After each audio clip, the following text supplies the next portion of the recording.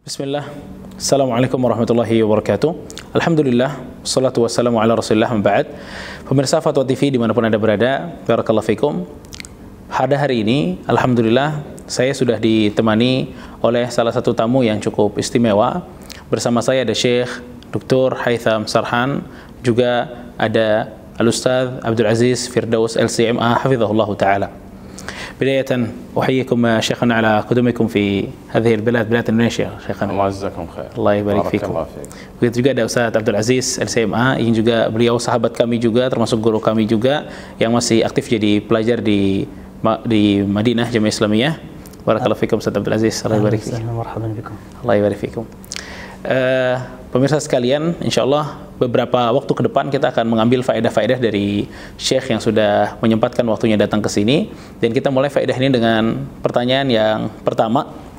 Pertanyaan pertama untuk Syekh yaitu adalah bagaimana cara kita menumbuhkan rasa takut kepada Allah Subhanahu wa taala saat kita sendirian. Ya.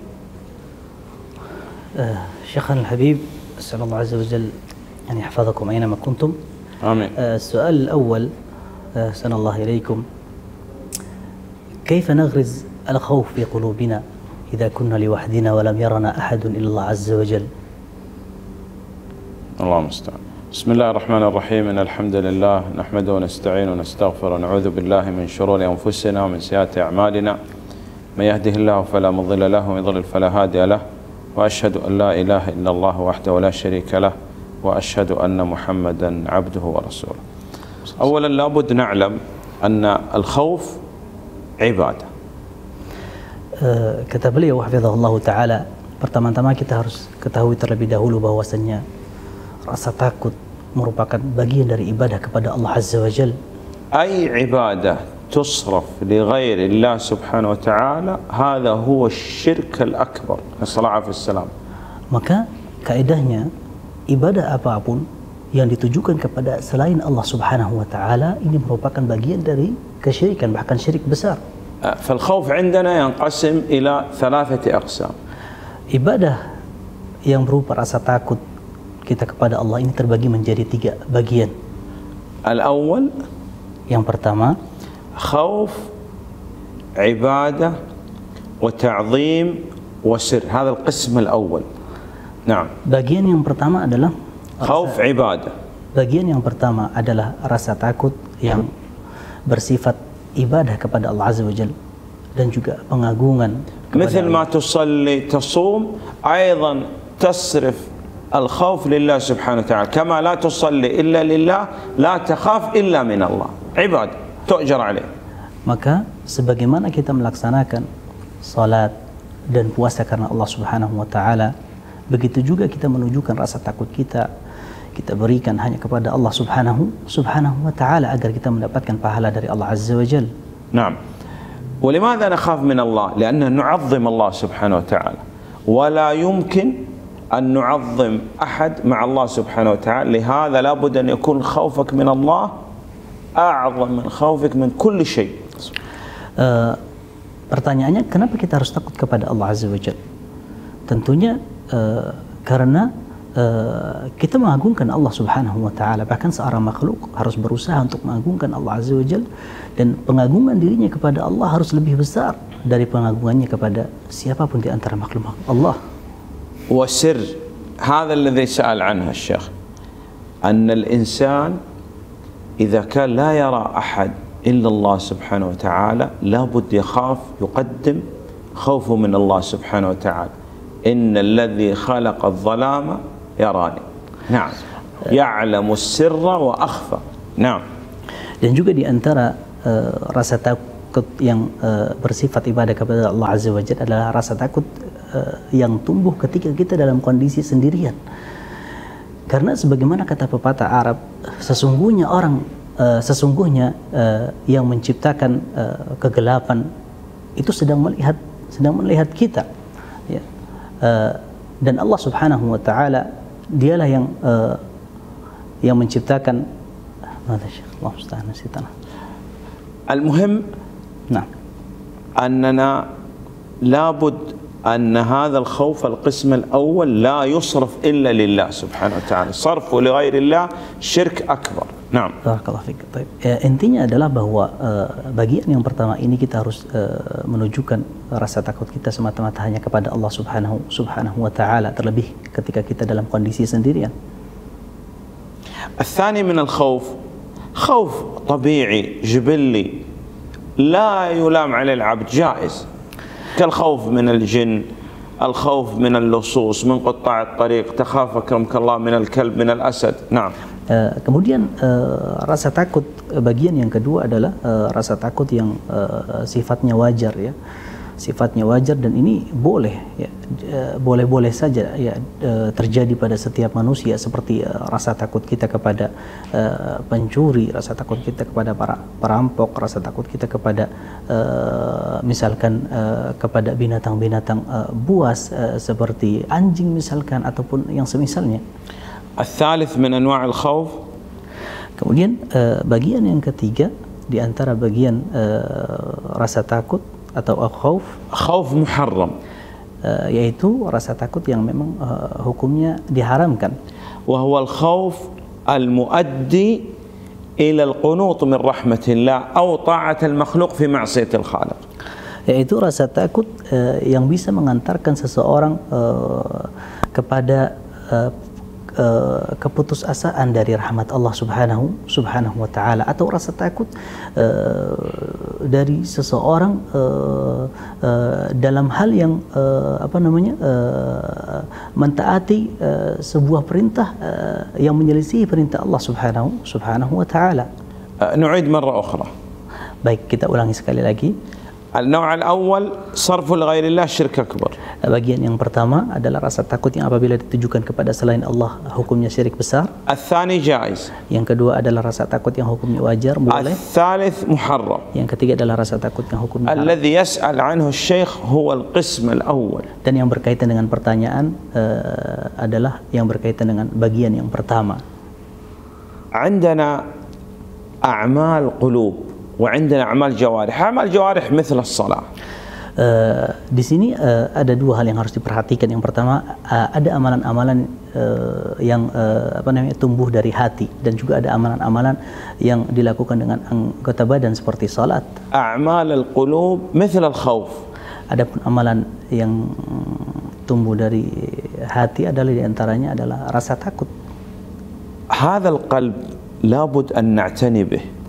Maka eh, yang berkaitan dengan hati ini harus kita perhatikan dan kita jaga baik-baik. نعم خاصة هذا الذي ذكر الآن في السؤال عندما يكون الإنسان في خلوة لا يرى أحد إلا الله سبحانه وتعالى Terlebih lagi yang berkaitan dengan pertanyaan tadi bahwa eh, ketika seseorang dalam kondisi sendirian Naam. yang tidak mungkin ada yang melihatnya kecuali Allah Subhanahu wa taala. ماذا أصنع Apa yang harus saya lakukan?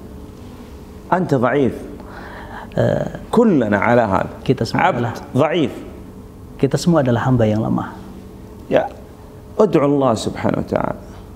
Maka uh, solusinya adalah yang pertama kita meminta dan memohon kepada Allah Subhanahu wa taala. Tad'u Allah an yarzuqak al-khawf bal a'la min al-khawf khasyat Allah Subhanahu wa taala. Kita meminta kepada Allah Subhanahu wa taala rasa takut kita kepada Allah. Bahkan kalau bisa kita meminta eh, rasa takut yang lebih kepada Allah. Naam. dinamakan di dalam istilah agama kita dengan khasyatullah.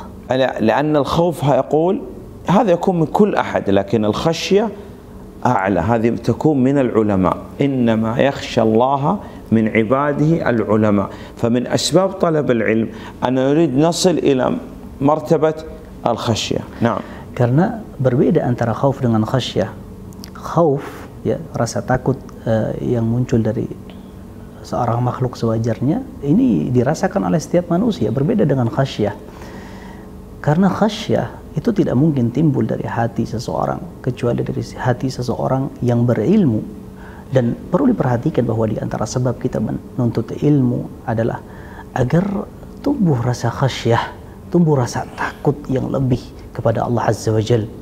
نعم إذا من الأسباب التي تؤدي إلى الخوف من الله سبحانه وتعالى طلب العلم Kalau begitu ya setelah kita uh, bahas bersama bahwa di antara sebab yang mengantarkan kita kepada rasa takut kepada Allah Subhanahu wa taala di tatkala kita sendirian adalah kita menuntut ilmu. Dirasat bab al-asma' was sifat. Kemudian yang kedua mempelajari bab yang berkaitan dengan nama-nama Allah Subhanahu wa taala dan sifat-sifatnya. Limada? Kenapa? لأنه لو درس باب الأسماء والصفات وتعرف على الله بدأ إيش يعظم الله سبحانه وتعالى نعم يعلم أن الله سميع بصير نعم Uh, karena seseorang uh, yang mempelajari bab yang berkaitan nama-nama Allah Subhanahu wa taala dan sifat-sifatnya dia akan mengetahui hakikat Allah Subhanahu wa taala sehingga dia akan timbul rasa takut kepada Allah Azza wa Jal dia akan menyadari dan mengetahui serta meyakini bahwasanya Allah Subhanahu wa taala Maha pendengar dan juga Maha mengetahui. Naam. من الأسباب الإكثار من الدعاء يدعو الله سبحانه وتعالى أن يصل يدعو العبد يدعو الله سبحانه أن يصل إلى هذه المرتبة مرتبة الخشية. نعم. معلش يعني العبد المسلم حتى يحقق هذا الخوف نعم. في الخلوة في كذا يدعو الله سبحانه وتعالى. يقول اللهم مثلا أعني على ذكرك وشكرك وحسن عبادتك. أجعلني يعني من من يخافك ويخشاك. نعم. Kemudian di antara solusi agar tumbuh perasa takut kita kepada Allah Subhanahu wa taala adalah kita meminta dan memohon kepada Allah Azza wa Jal. Ya, di antara contohnya misalkan, ya Allah jadikanlah aku termasuk dari hamba-hambamu uh, yang takut kepadamu uh, dan doa-doa yang semisal yang diajarkan oleh baginda Nabi sallallahu alaihi wasallam. Min al-asbab fi sirah Nabi sallallahu alaihi wasallam كيف كان يخاف من الله في سيرة الصحابة رضوان الله عليهم كيف كانت خشيتهم التابعين الأئمة نعم dan juga di antara solusi agar bisa menumbuhkan rasa takut kita kepada Allah Subhanahu wa taala adalah mempelajari sejarah Nabi sallallahu alaihi wasallam bagaimana dahulu beliau uh, takut kepada Allah Azza wa Jalla dan juga sejarah uh, para tabi'in uh, para sahabat tentang rasa takut mereka yang sangat luar biasa kepada Allah Azza wa Jalla Sehingga hal ini tentunya bisa menumbuhkan perasaan takut kita kepada Allah. تذكر الموت يعني أنت تتذكر ممكن في هذه اللحظة مثلا لا يكون عندك أحد ومثلا تصنع أشياء محرمة لا يراك أحد تفتح الهاتف أو كذا تذكر الموت هنا ممكن الآن تموت وأنت على هذه الحالة صحيح؟ صحيح هذا يجعلك تخاف من الله سبحانه وتعالى نعم selanjutnya di antara sebab juga dan solusi agar uh, tumbuh rasa takut kita kepada Allah adalah kita mengingat kematian. Hendaknya kita banyak mengingat kematian karena seseorang tidak tahu kapan uh, ajal datang menjemputnya. Boleh jadi ketika seseorang sedang sendirian dan uh, dia sedang bermaksiat uh, kepada Allah Subhanahu wa taala dengan HP-nya, kemudian tiba-tiba datang malaikat maut menjemputnya. Dan hal ini sangat mungkin terjadi. Nah. يقول ابن القيم رحمه الله الإمام ابن القيم رحمه الله. نعم. الإمام ابن القيم رحمه الله تعالى mengatakan يقول أن كل من قدم خوفه من شيء على خوفه من الله سبحانه وتعالى خوفه الله به. أعطيك أنا مثال حتى تفهم القاعدة. الآن كانوا في الجاهلية إذا نزلوا منزل يخافوا من من؟ من الجن. فيستعيذ بهم وهذا شرك أكبر. تمام؟ نعم. فماذا صنع الجن بهؤلاء الإنس زادوهم خوفا, خوفا على خوفهم مفهوم نعم, نعم. Uh, beliau menyebutkan sebuah kaidah yang uh, dituturkan oleh Al-Imam Al-Qayyim rahimahullahu taala bahwa barang siapa yang mengedepankan rasa takutnya kepada seorang makhluk melebihi rasa takutnya kepada Allah Subhanahu wa taala maka Allah Subhanahu wa taala akan tambahkan rasa takut yang sangat luar biasa di dalam hatinya. Kemudian beliau menyebutkan sebuah contoh yang sangat luar biasa bahwa dahulu ya Uh, telah tersebar di bangsa Arab jahiliyah bahwa apabila mereka uh, turun di sebuah tempat Eh, mereka meminta perlindungan uh, agar mereka uh, diselamatkan dari gangguan jin. Mereka meminta perlindungan bukan kepada Allah, mereka meminta perlindungan kepada kepada jin. Dan apa yang dilakukan oleh jin? Jin tidak melindungi mereka. Jin justru malah menambahkan rasa ketakutan mereka di atas ketakutan. Ya. Dan uh, ini merupakan uh, sesuatu yang sangat berbahaya tentunya.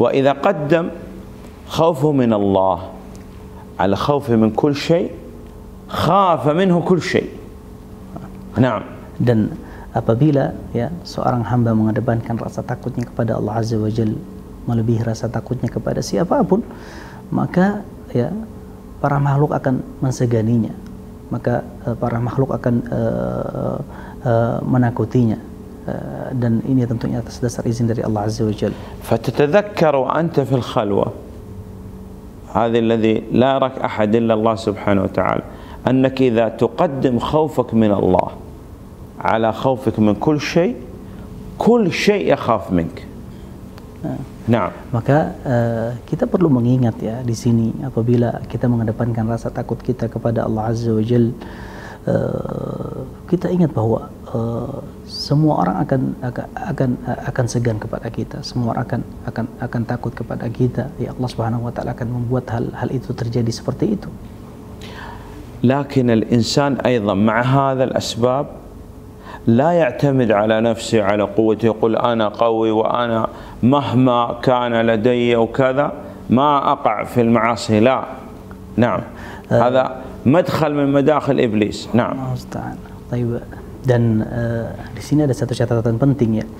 Ketika seseorang setelah melakukan uh, berbagai macam sebab uh, yang telah kita sebutkan tadi agar uh, bisa tumbuh rasa takutnya kepada Allah Subhanahu wa taala dalam hatinya, uh, yang perlu diperhatikan adalah bahwa hendaknya seseorang jangan berpangku kepada dirinya ya jangan pernah berpangku kepada kepada dirinya jangan pernah merasa percaya diri uh, yang berlebihan ya seakan-akan dia melupakan uh, campur tangan Allah Subhanahu wa taala di dalam uh, di dalam dirinya karena ini adalah salah satu pintu di antara pintu-pintu iblis untuk menjatuhkan seorang manusia إذا من الأسباب أن المسلم يغلق هذا الباب يغلق باب إيش باب أن الأمور اللي تفتح عليه الشر يعني إذا يعرف من نفسه أنه ضعيف ونحن ضعفاء لا شك في هذا.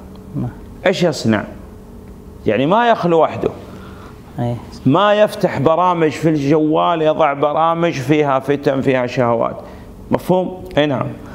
Maka setelah kita menyadari bersama bahwa kita semua ini lemah ya. Lemah di hadapan eh, hal-hal yang diharamkan oleh Allah Azza wa Jal, maka jangan sampai kita membuka uh, pintu keburukan itu untuk diri kita sendiri ya. Jangan pernah kita berusaha untuk uh, mencari tempat-tempat uh, kita untuk sendiri yang kemungkinan kita bisa jatuh dalam kemaksiatan kepada Allah Azza wa Jal dan jangan pula kita uh, membuka aplikasi atau tontonan-tontonan yang sekiranya uh, membuka pintu syahwat yang besar yang boleh jadi kita tidak mampu untuk membendung syahwat tersebut. Nah, wa أن من ترك شيئا لله عوضه الله خيرا منه. يترك هذه البرامج لا ينزلها. يترك مثلا يعني بعض الناس حتى لا يأخذ الجوال هذا الحديث. مع الجوال القديم يقول أنا لا أستطيع. أغلق باب الشر ودرء المفاسد مقدم على جلب المصالح. يقول هذا الهاتف في مصالح لكن المفاسد أكثر. أنا أترك لله يعوضني الله خير مما تركت. Nah. Uh, dan uh, sebagaimana telah dikatakan bahwa barang siapa uh, yang meninggalkan sesuatu karena Allah Azza wa Jal, maka Allah Subhanahu wa taala akan menggantikannya dengan yang uh, lebih baik. Maka barang siapa ya yang uh, meninggalkan hal-hal uh, yang tadi bisa membahayakan uh, seperti tidak uh, mendownload aplikasi-aplikasi yang sekiranya uh, bisa uh, mengurangi keimanan kita atau misalkan uh, tontonan-tontonan yang sekiranya bisa membahayakan uh, iman kita dan kita meninggalkan hal itu semua karena Allah Subhanahu wa taala maka kita akan mendapatkan ganti yang lebih baik dan lebih besar di sisi Allah uh, Azza wa Jal.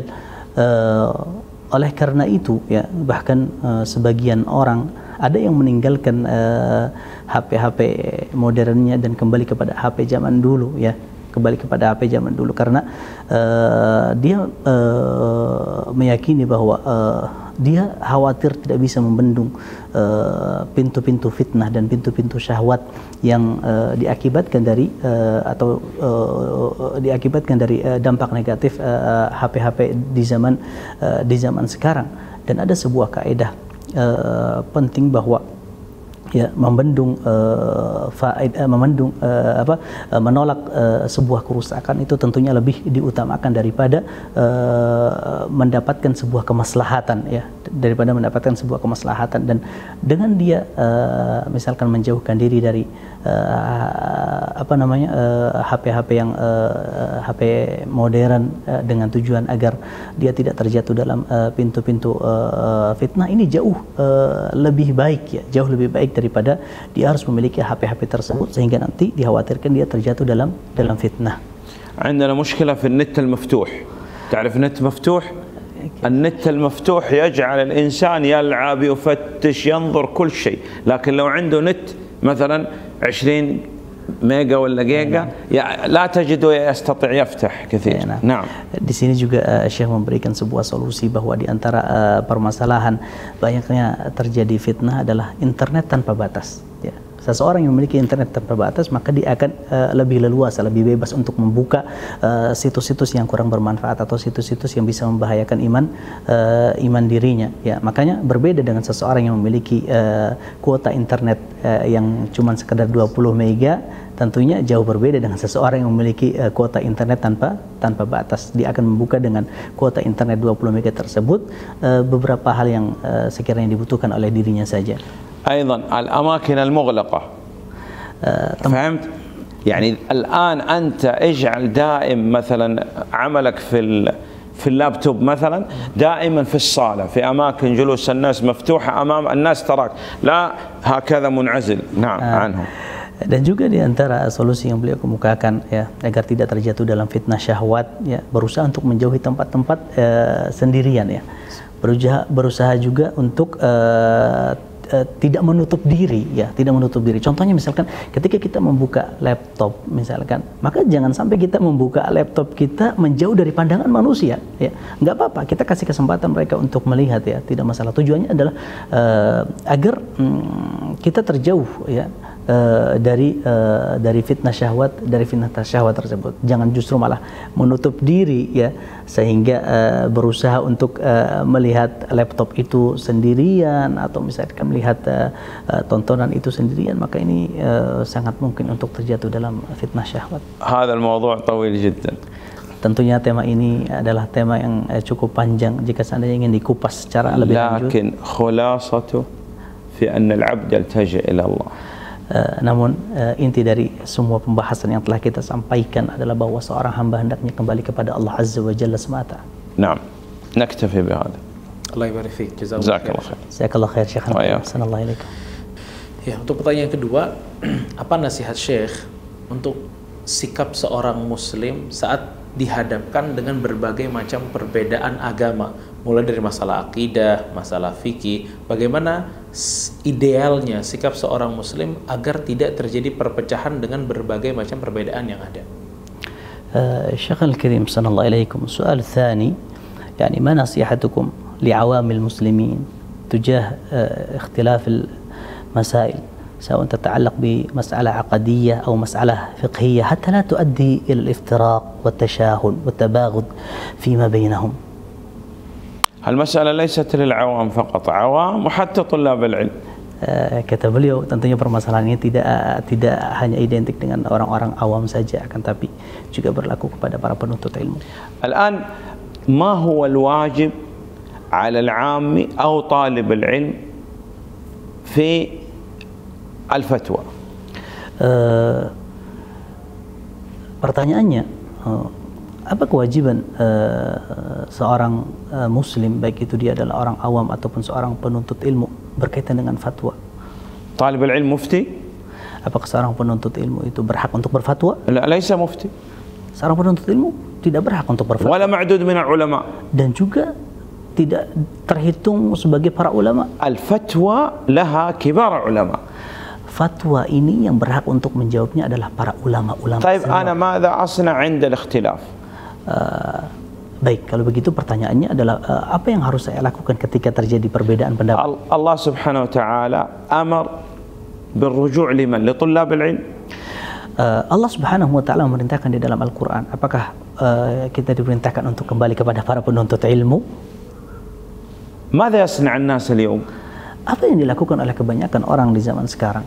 ها عند الخلاف ايش يصنعوا اليوم عند مسائل الخلافيه والفتوى Yaftahun Google مثلا. جوجل Google, Syekh. نعم وحتى بعضهم يقول شيخ جوجل من قال لك جوجل شيخ Eh, kebanyakan orang ketika terjadi perbedaan pendapat mereka eh, bukannya malah bertanya akan tapi membuka Google ya bahkan sebagian orang menjuluki Google sebagai syekh pertanyaannya siapa yang menjuluki Google sebagai syekh نعم اذا عندنا مشكله في رجوع الناس إلى جوجل Nah, sekarang e, berarti e, permasalahannya adalah e, e, tentang e, apa e, tentang uh, bagaimana seseorang uh, ketika terjadi perbedaan pendapat kepada siapa dia harus kembali. A'tik misal basit.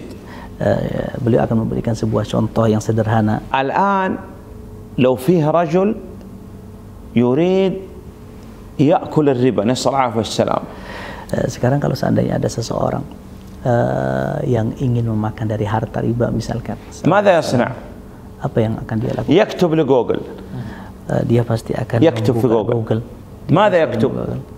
Apa yang apa yang dia akan tulis? Hal yaktub tahrim riba Apakah dia akan eh, menulis tentang haramnya riba? لا يكتب الذي يريد من جوجل هو Dia akan berusaha untuk mencari di Google eh, jawaban yang sesuai dengan eh, isi hatinya tentunya. يكتب له الأدلة على جواز أكل الربا Dia akan menulis dan mencari di Google tentang dalil-dalil yang menunjukkan bolehnya makan dari harta riba.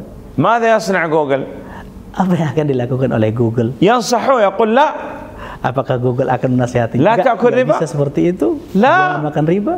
جوجل يقول الذي تريد يعطيه أدلة على جواز أكل الربا نعم هذا جوجل Eh, tentunya Google akan memberikan jawaban eh, sesuai dengan eh, apa yang ada dalam isi hatinya. Dia akan mengemukakan dalil-dalil tentang eh, bolehnya memakan dari harta riba. إذا هذه مشكلة عندنا Eh, ber- berarti ini adalah sebuah problem, sebuah permasalahan. لو انسان يعني مريض عنده مرض في في قلبه مثلا مرض عضوي نعم شرايين مسدود مثلا في fil qalb nasallahu wasallam العافيه contohnya misalkan uh, kalau seandainya ada seseorang yang memiliki penyakit uh, jantung ya penyakit jantung yang cukup kronis هل ياخذ علاج من جوجل apakah dia akan mencari obatnya dari google لا والله tentunya tidak akan dia mencari ya'khudh ilaj min ahsan tabib Dia pasti akan berusaha untuk mendatangi dokter yang paling spesial, yang paling sempurna.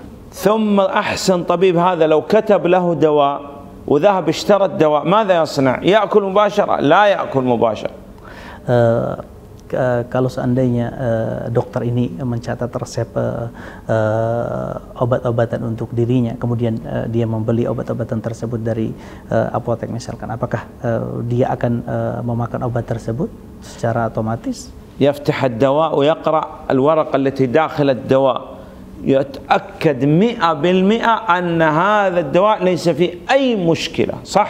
Eh, tentunya dia tidak akan memakan obat tersebut secara otomatis. Pasti dia akan mengecek terlebih dahulu, dia akan me- melihat dan membaca komposisinya eh, dan memastikan terlebih dahulu eh, obat ini betul-betul eh, sesuai dengan dengan penyakitnya. إذا عند التنازع عند الاختلاف لابد أن نرجع إلى كبار العلماء Eh, kalau kalau seandainya ini berlaku dalam permasalahan eh, sakit yang dialami oleh anggota tubuh kita, tentunya dalam permasalahan agama kita harus kembali kepada eh, para ulama yang besar, ulama-ulama kibar. وهذا إشكال يعني حصل قريب يقول عندنا في أندونيسيا أن هذا يعني عنده عيد الأضحى في يوم وهذا معه في نفس البيت أه عنده إيش؟ عيد آخر. يوم عرفة هذا في الصيام وهذا في في عيد. في العيد نعم Eh, dan ini eh, apa namanya eh, tentunya permasalahan ini permasalahan yang masih hangat yang terjadi tentang eh, kar- atau eh, permasalahan yang terjadi karena eh, perbedaan ini eh, berkaitan dengan eh, hari raya Idul Adha ya dalam sebuah rumah ada yang eh, hari tertentu ternyata hari Adha bagi salah satu anggota rumah tersebut dan hari tersebut bisa jadi menjadi hari Arafah bagi bagi anggota rumah yang yang lain. ممكن بعض الناس يقول طيب حدث خلاف بين الصحابة رضوان الله عليهم Mungkin sebagian orang akan berkata, permasalahan ini tentunya terjadi perbedaan pendapat di antara para sahabat. لكن هذا حدث عند من كان يفتيهم من علماء الصحابة ليس الآن يفتي جوجل Eh, akan tetapi yang perlu untuk diperhatikan bahwa permasalahan eh, eh, ini atau permasalahan yang berkaitan eh, dengan permasalahan khilaf yang terjadi di kalangan para sahabat yang berfatwa adalah para ulama-ulama besar dari kalangan para sahabat senior bukan seperti sekarang yang berfatwa adalah Google. Nah, wahada yaqul lahu rai, wahada yaqul lahu rai. Eh, Tentu kalau kita bertanya kepada Google uh, situs tertentu akan menjawab dengan jawaban A dan situs lain akan menjawab dengan jawaban yang lain. Hatta ana ba'd al-awam yani asbahu la yathiq hatta fi talib al-ilm. Bahkan uh, yang sangat disayangkan ya sebagian orang awam yang tidak mengerti agama ya dia seakan tidak percaya dengan para penuntut ilmu والله هذه المسائل لو رجعنا لكبار العلماء ارتحنا subhanallah kata beliau hafizahullah kalau seandainya permasalahan ini dikembalikan kepada para ulama besar pasti eh, tidak akan terjadi demikian الآن لو تأتينا فتوى في العقيدة عن الشيخ بن باز عن الشيخ بن عثيمين رحم الله الجميع هل نقبل هؤلاء Eh, sekarang yang menjadi pertanyaan kalau seandainya eh, ada sebuah permasalahan eh, dalam bab akidah misalkan eh, kita tanyakan kepada eh, Syekh Abdul Aziz bin Baz misalkan apakah kita akan menerima fatwa tersebut ataukah tidak نقبل لا شك pasti kita akan menerima fatwa tersebut طيب لو تأتينا مسألة فقهية نقبلها أو لا nah sekarang yang menjadi pertanyaan selanjutnya kalau seandainya permasalahan ini berkaitan dengan bab fikih apakah kita juga akan menerima fatwa tersebut آه، من باب أولى tentunya eh, ini jauh lebih utama untuk bisa diterima هؤلاء الذين يقولون بالخروج على الحكام وبالخروج إلى أماكن ال- ما يقال عنها الصراع والجهاد وكذا نعم eh, orang-orang yang eh, memfatwakan ya eh, Eh, sebagian masyarakat untuk uh, keluar dari ketaatan kepada pemerintah atau misalkan eh, uh, memfatwakan untuk uh, ikut serta uh, berjihad uh, di tempat tertentu misalkan. Tayyib. Nas'alhum, hal antum ahli fatwa? Maka kita bertanya kepada mereka, apakah kalian orang yang berhak untuk berfatwa? Hatta nas al-awam, hal tasma'u li haula' في العقيدة يقول لا هؤلاء ما نسمع منهم العقيدة نسمع العقيدة من بن باز بن عثيمين رحمهم الله Bahkan orang awam sekalipun apabila mereka ditanya apakah kalian akan mendengarkan fatwa orang-orang tersebut, tentunya mereka akan menjawab tidak. Tidak mungkin kita mendengarkan fatwa-fatwa yang berkaitan dengan akidah dari mereka. Kita mendengarkannya dari Syekh bin Baz, Syekh Ibn Uthaymin rahimahumullah. في مسألة جهاد في مسألة خروج على الحكام صحيح لماذا نرجع لهؤلاء الذين لا يعرفوا ولا نرجع للشيخ بن باز بن عثيمين رحمه الله Maka dalam permasalahan eh, jihad, dalam permasalahan ketaatan kepada pemimpin, kenapa kita harus kembali kepada mereka yang mereka aslan eh, yang mereka tidak diketahui eh, identitas identitas keilmuannya? Mengapa kita tinggalkan justru malah kita men- kita meninggalkan fatwa Syekh bin Bas dan Syekh bin ولهذا Utsaimin? قال بعض العلماء Oleh karenanya sebagian ulama pernah eh, berkata أنه أكثر ما يفسد العالم bahwa eh, sebab terbesar yang banyak merusak eh, eh, di permukaan bumi ini ثلاثة مفسدين نسأل الله العافية والسلام ada tiga tiga tiga hal yang banyak merusak eh, eh, apa namanya yang banyak yang banyak memberikan kerusakan di permukaan bumi ini نصف متكلم يعني علم كلام لكن ما هو عالم لكن نصف عالم في علم الكلام في الفلسفة في المنطق Eh, orang yang setengah setengah pandai dalam ilmu filsafat ونصف هنا فقيه Eh, setengah fakih setengah orang yang eh, memiliki fikih ونصف نحوي في علم ال- النحو في اللغة العربية Eh, setengah eh, nahwi itu setengah orang yang eh, pandai dalam ilmu nahwu setengah نعم أول واحد أخطر واحد هذا الأول maka eh, di antara tiga orang ini yang paling berbahaya adalah orang yang pertama tadi orang yang setengah pandai dalam ilmu filsafat. هذا نصف متفلسف نصف متكلم ليس كامل يعني نعم Eh, karena eh, orang yang pertama ini eh, dia eh, setengah memiliki ilmu filsafat dan juga eh, setengah eh, pandai dalam berretorika يتكلم في ذات الله سبحانه وتعالى يتكلم في العقيدة يتكلم في الأسماء والصفات dia berretorika berbicara yang berkaitan dengan zat Allah Subhanahu wa taala, berbicara yang berkaitan dengan uh, nama-nama Allah Subhanahu wa taala dan sifat-sifatnya. هذا أفسد إيش Uh, apa yang dia rusak? Orang أفسد pertama ini, العقيدة Dia telah merusak akidah.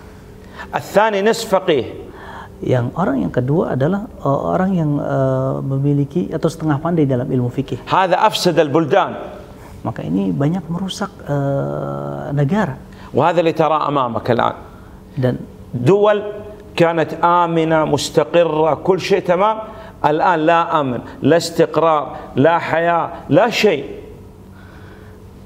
sebagian negara sekarang yang kita lihat saat ini ya disebabkan oleh orang jenis kedua ini yang tadinya mereka merasakan keamanan, mereka merasakan kedamaian, ternyata sekarang mereka tidak merasakan kehidupan, bahkan tidak merasakan keamanan dan kedamaian sedikit pun. نعم هذا أفسد بلدان Yang jenis yang kedua tadi, orang yang kedua tadi adalah orang yang banyak memberikan kerusakan di eh, berbagai macam negara. وهؤلاء اليوم اللي يتكلموا ولهم منابر في جوجل وكذا نعم dan mereka ini adalah eh, orang-orang yang eh, ditokohkan di eh, ber apa namanya ditokohkan eh, di eh, di Google ya di beberapa eh, situs-situs tertentu نعم إذا هذه المسائل ليست مسائل يعني حينة هذا دين لا تأخذ إلا من ثقة نعم Uh, maka kesimpulannya yang perlu diperhatikan bahwasanya permasalahan-permasalahan ini adalah permasalahan yang berkaitan dengan agama.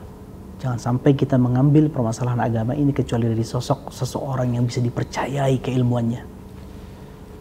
Irji' ila imam, alim, thiqah, tathiq fi dini wa ilmi, ukhudh biqawlih. Eh, maka uh, sebagai seorang muslim ya dalam permasalahan seperti ini harusnya kembali kepada seorang imam ataupun seorang alim yang kita percayai uh, agamanya yang kita percayai ilmunya. Kemudian kita uh, berpegang teguh dengan uh, pendapatnya. Lakin la ta'khudh bi ra'i talib ilm bi ra'i google. Nah uh, uh, oleh sebab itu ya jangan sampai kita mengambil pendapat dari seorang penuntut ilmu biasa atau misalkan mengambil uh, pendapat dalam permasalahan ini dari Google misalkan? Wallahu a'lam. Allah yabrifikum. Assalamualaikum TV, fikum. Itu ada dua pertanyaan yang alhamdulillah telah dijawab oleh Syekh yang cukup memberikan manfaat banyak kepada kita. Semoga Allah subhanahu wa ta'ala Memberikan kepada kita semua rasa takut di dalam hati kita Terutama saat kita sendirian Dan semoga Allah subhanahu wa ta'ala Menjaga persatuan kaum muslimin Di mana pun mereka berada Barakallahu fikum. Insyaallah kita ketemu lagi di acara-acara berikutnya. Wassallallahu ala nabiyina Muhammad wa ala alihi wa sahbihi ajma'in. Assalamualaikum warahmatullahi wabarakatuh. Waalaikumsalam warahmatullahi wabarakatuh